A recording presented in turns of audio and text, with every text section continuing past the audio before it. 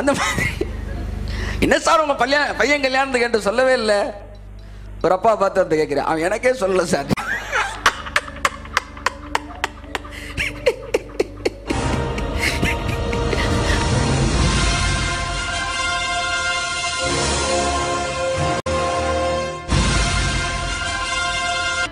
மோச கொடுத்த பிரமாணங்கள் எல்லாம் பையன் எப்படி இருக்கணும்ன்றது? ஆனா கிருப அப்பா எப்படி இருக்கணும்ன்றது? கையா தட்டு. அவ்வளவுதான் மேட்ரு மோசே பையன் எப்படி வாழணும்னு சொல்லி கொடுத்தான். கிருப அப்பா எப்படி இருக்கான்னு சொல்லி கொடுக்குது.